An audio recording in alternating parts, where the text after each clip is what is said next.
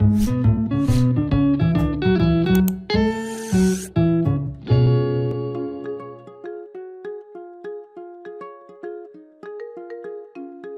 you have your 3D primitive or extrusion, you'll want to start modifying.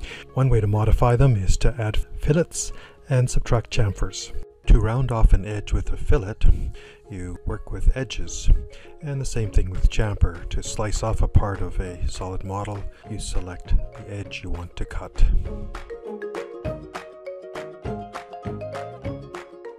BricsCAD has two commands that add fillets or rounds to 3D objects. One is oriented at the command line, the other is interactive.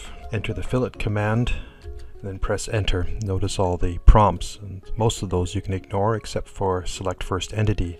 Now the curious thing about working with 3D solids and fillets is you have to select an edge. You can't select anything else. So here I've got the cursor over an edge. You can see the entire 3D model is highlighted. I click and the one edge is now selected. So on the prompt it asks uh, fillet radius, I'll take the half inch, and then it says select an edge. What this means is you have to again select the same edge and then press enter to apply the fillet. Now you notice down on the command prompt chain and that code word for selecting more than one edge to fillet at a time. So I'm going to invoke the chain option. So there's two edges that I've selected. Press enter and BricsCAD fillets all of them. BricsCAD has a second command for applying fillets to 3D objects and it's called DM Fillet. It does the job interactively. DM is short for direct modeling or modeling directly. So I've entered the DM fillet command and it's asking me again to select edges to create the fillet. This time the prompt's more straightforward than with the regular fillet command.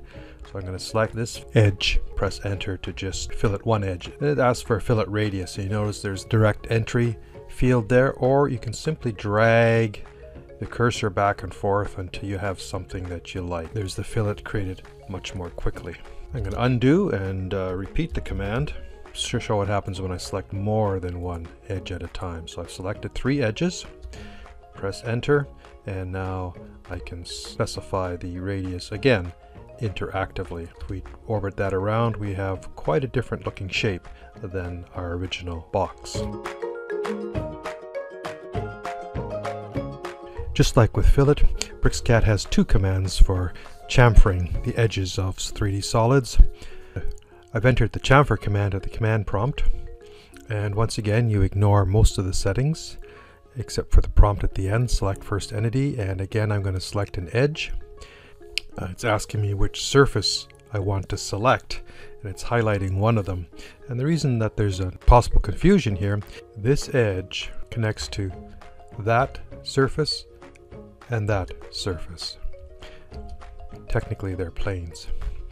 Now it's asking for the chamfer distance and I'm going to put in 0.5, again 0.5, and now it's asking me for an edge or it'll chamfer the edge that I select.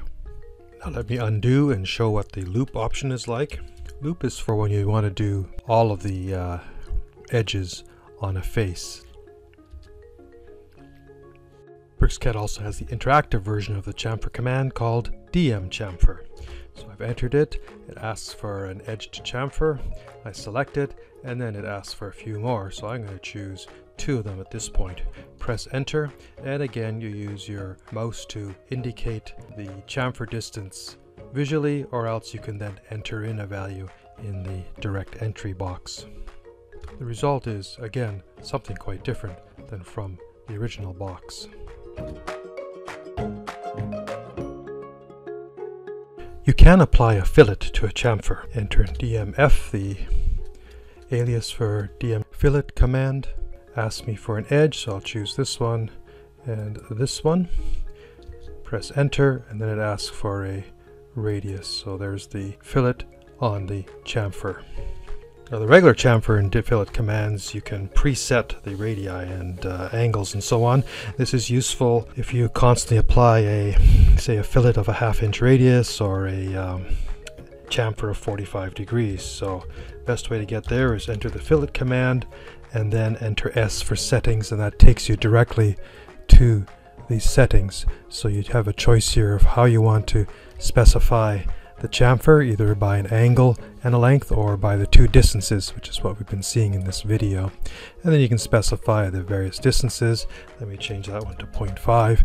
Notice that BricsCAD uh, bold faces anything you change in the settings dialog box chamfer length, angle if you're going to be using that, so let's put in 45, and then the fillet radius half. The final option on uh, trimming does not apply to 3D solids.